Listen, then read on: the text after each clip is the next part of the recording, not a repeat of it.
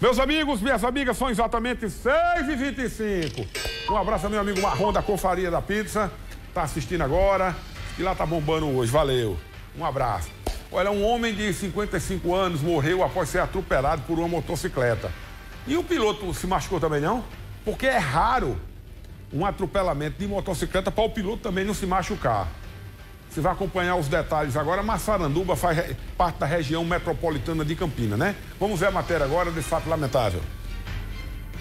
Na noite de ontem, por volta das 18 horas e 30 minutos, um grave acidente de trânsito foi registrado na estrada que liga Campina Grande Massaranduba, em que vitimou um cidadão de 55 anos, identificado como João Onildo da Silva. Ele transitava a pé por esta via, momento em que foi atingido por uma motocicleta que era conduzida por um cidadão e que estava em companhia de um outro colega. O serviço de atendimento móvel de urgência foi acionado ao local, socorrendo as vítimas para o Hospital de Trauma de Campina Grande, mas ao dar entrada, Onildo não resistiu e veio a óbito após sofrer um trauma de crânio encefálico. Lembrando que esse acidente foi registrado na curva do S, onde outros acidentes ocorreram. E no momento em que estávamos gravando aqui neste local, apareceu um cidadão que era conhecido da vítima, que nos informou que meses atrás a esposa dele havia sofrido um acidente após cair da motocicleta, vindo a óbito, onde nós tivemos a oportunidade de conversar com o mesmo. Há cerca de oito meses a um ano atrás, é, os relatos, e eu chego passando no local, mas já tinham levado o corpo, ela ia de moto com ele e de repente caiu para trás, bateu com a cabeça e chegou a óbito. Logo aqui depois da curva do oeste, que não dá nem um quilômetro da onde o fato aconteceu com ele ontem à noite.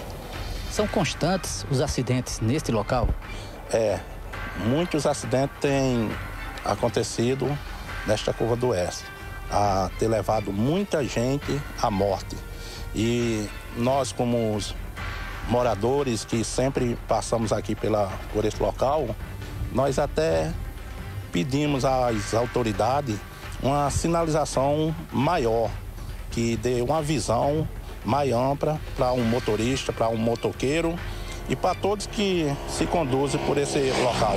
Esperamos que providências sejam tomadas e que esta via verdadeiramente venha a ser mais bem sinalizada. Volto com você. É lamentável. Uma curva que não tem aquela chamada é, defensa, ou chama de guardrail, né? Com, com olho de gato para sinalizar uma curva fechada, é, íngreme, né? Porque ó, há um declive, ó.